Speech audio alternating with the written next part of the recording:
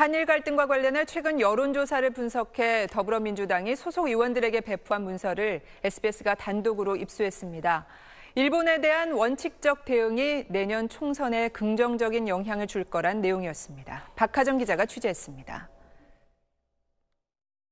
더불어민주당 싱크탱크 민주연구원이 작성한 한일 갈등에 관한 여론 동향 보고서입니다. 128명 여당 의원에게 이메일로 보냈고 문건 상단엔 대외 주의라고 적혀 있습니다.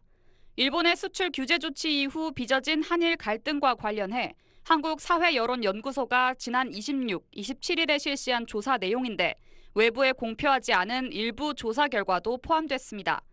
첫 페이지부터 일본의 무리한 요구에 원칙적으로 대응하는 게 중요하다고 적었습니다.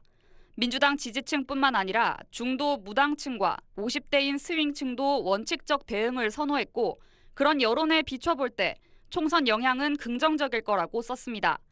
최근 당 지도부 중심으로 이루어진 한국당에 대한 친일 비판은 지지층 결집 효과는 있지만 확대 효과는 크지 않다고 판단했는데 정쟁 프레임에 대한 반감 때문이라고 지적했습니다.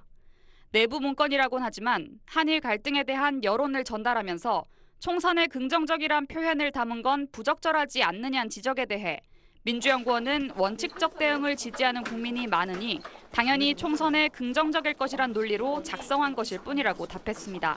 SBS 박하정입니다.